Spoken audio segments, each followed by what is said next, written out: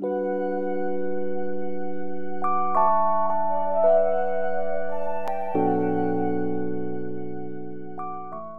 やねえ。お知らせがあります。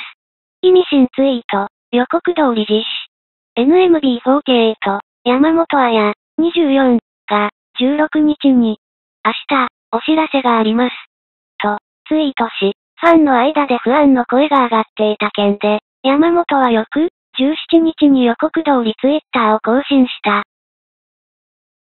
山本は、午前、11時、50分に、阪神淡路大震災から23年、被害に遭われた方々へ哀悼の意を表します。そして、この日を忘れず、今日を生きていることに感謝し精一杯噛み締めます。どんなに小さくてもいい。たくさんの方に幸がありますように。と、17日に発生から23年となった阪神淡路大震災の被災者への思いをしたためた。午後0時40分には、1月中にと言っていたのには、間に合いませんでしたが、来られなかった方はもちろん、来てくださった方もあの日の暑さをもう一度、として、昨年、11月、19日に NHK ホールで行った、自身のソロツアー、東京公演がブルーレイ、DVD として発売されることが、決まったと報告。さらにその1時間後には、メトロック、大阪、東京と、初めて、出演させていただきます。今からめちゃくちゃドキドキしております。勉強させていただきます。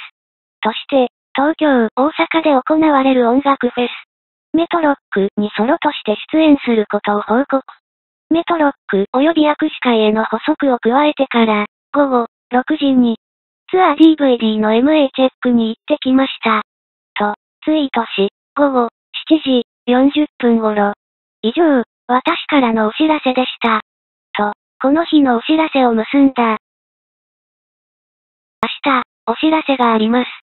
ツイートにおいて、は、詳細が記載されてなく、一部から、卒業ではないか、不安の声が聞かれていたが、震災被災者への哀悼の意、その後はロックフェスへの出演、自身のソロツアーの映像化という内容。ファンから安堵の声とともに、震災への思いを新たにした。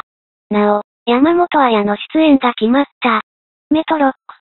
現在決まっている出演者には、エレファントカシマシ、ジ・オーラルシガレッツ、サカナクション、シム、バックナンバー、マンウィズ・アミッションなどがいる。